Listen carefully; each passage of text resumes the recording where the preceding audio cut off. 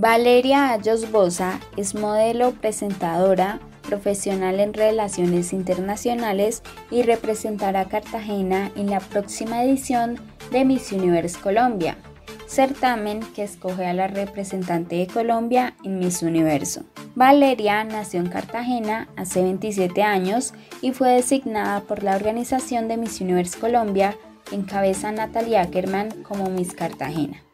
Hay que recordar que Valeria había sido admitida para concursar en la edición de 2020, representando a la isla de San Andrés y Providencia, pero no pudo llegar a la concentración del certamen en Barranquilla debido a que fue contagiada por COVID-19. Finalmente, el reinado culminó en noviembre, dejando como ganadora a la también cartagenera Laura Blascuaga Pinto.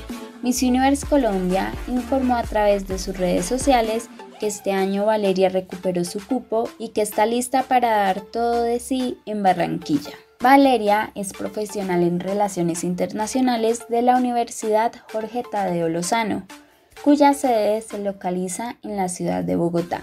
Y no es nueva en el mundo de los reinados, ya que ha sido ganadora de los títulos de Miss Tierra Colombia en 2018 y Miss Tierra Agua 2018.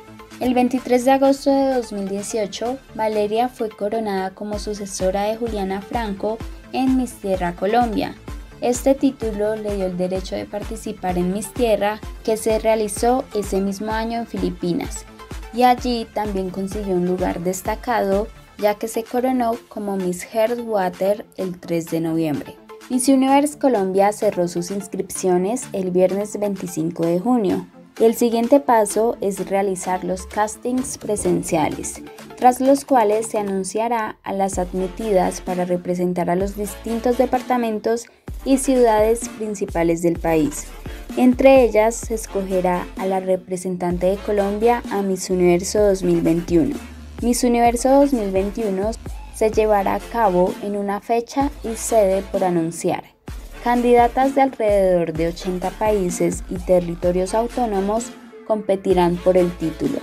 Al final del evento, Andrea Mesa, Miss Universo 2020 de México, coronará a su sucesora.